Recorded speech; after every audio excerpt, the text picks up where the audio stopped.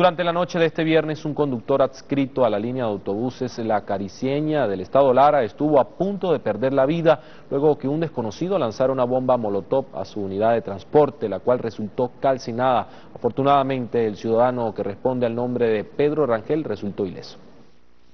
Pasó un motorizado de negro con la, con la bandana, la cara pintada de, de la bandera tricolor, amarillo, azul y rojo y le tira como un pote de pintura hacia adentro del carro.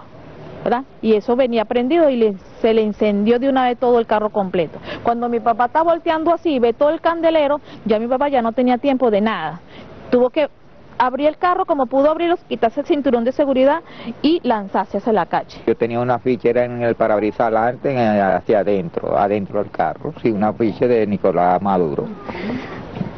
Pero de decir que yo tengo enemigos, yo no tengo enemigos, yo lo que tengo es amigos, pero si les digo algo, yo nosotros, ya ustedes ven como yo vivo aquí, yo con mi carro traigo todo, traigo pan, traigo la comida para acá, para la casa, y le pido a, a la gente pues que no sea tan mala, que cómo van a, a quemar el carro, que cómo va a ser posible que haya tanta gente mala en la vida. Más bien, debíamos ayudar unos a los otros. Según detalles ofrecidos vía telefónica por el diputado del PSUV Johnny Colmenares, se presume que detrás de estos actos vandálicos se encuentran los sectores fascistas y desestabilizadores de la oposición larense.